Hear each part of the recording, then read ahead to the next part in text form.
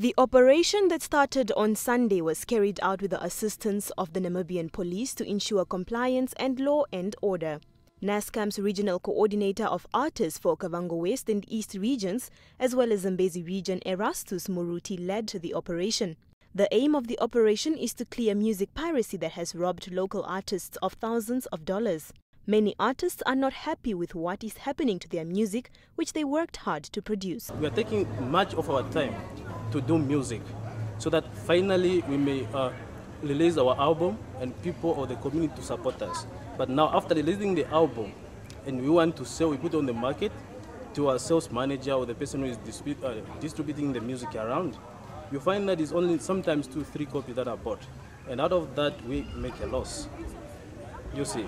So we want this to come to an end so that we can at least also do our best release music again and again, and also for our own uh, benefit to take care of our own kids. Example, you go to a studio, one song, you pay 1,000. In designing it, others they do 850, others they do 500. But still, when I'll come back home, I'll have to come and sell the CD on $100. So if I'm having an album of 15 songs in the CD, by 1,000, and I come sell the CD on $100, how much am I getting? Many computers and other music string devices were confiscated during the operation and were only returned after the perpetrators paid fines. All places that were visited were found to be playing illegal obtained music and were fined $4,000. Muruti says several warnings and fines were given on Sunday and will continue making sure that copyright is respected.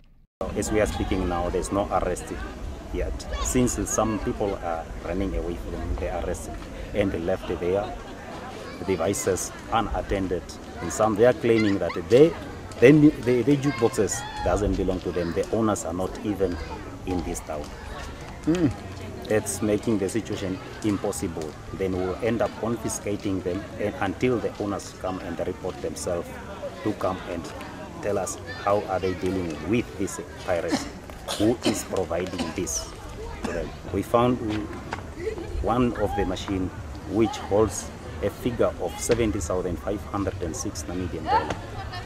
All that from pirates music.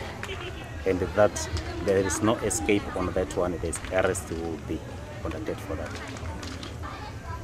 We want to clean the environment. We want to clean the piracy. Let our artists at least happy and eat for their own sweat. This is the second operation in the Zambezi region against music piracy after the 2017 operation. Muruti said many people are illegally downloading music at the Katima Mulilo open market and at bars and shebeens, as well as at Chinese shops.